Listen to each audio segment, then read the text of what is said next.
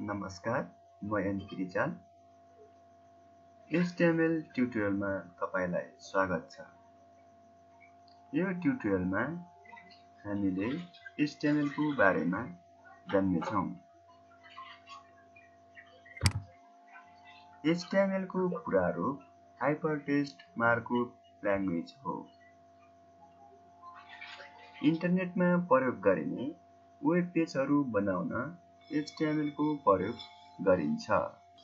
सन् उन्नाइस सय नब्बेमा स्विजरल्यान्डका टिम बर्नर्स लीले एचटिएमएलको विकास गरेका हुन्।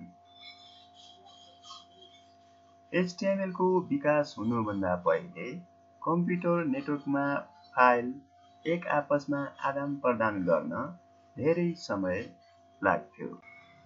एचटिएमएलको प्रयोग वेब पेजहरूमा अक्षर ध्वनि भिडियो आदि आकर्षक रूपले व्यवस्थापन गर्न प्रयोग गरिन्छ। एचटिएमएलको सबैभन्दा ठुलो विशेषता भनेको हाइपरलिङ्क हो।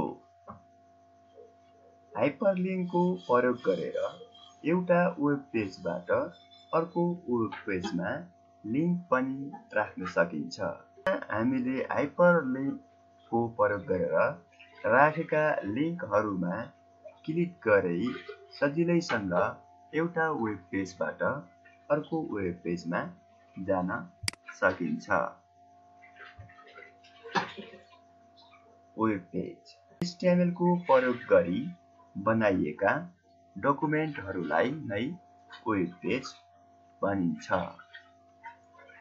एचटिएमएलको एक्सटेन्सन फाइल सेभ गर्ने बेलामा डट एचटिएमएल डट एचटिएम गरेर हामीले एचटिएमएल डकुमेन्टहरूलाई सेभ गर्न सक्दछौँ।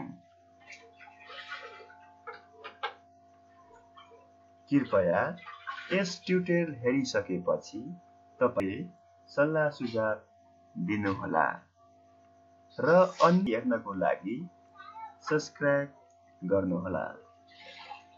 धन्यवाद।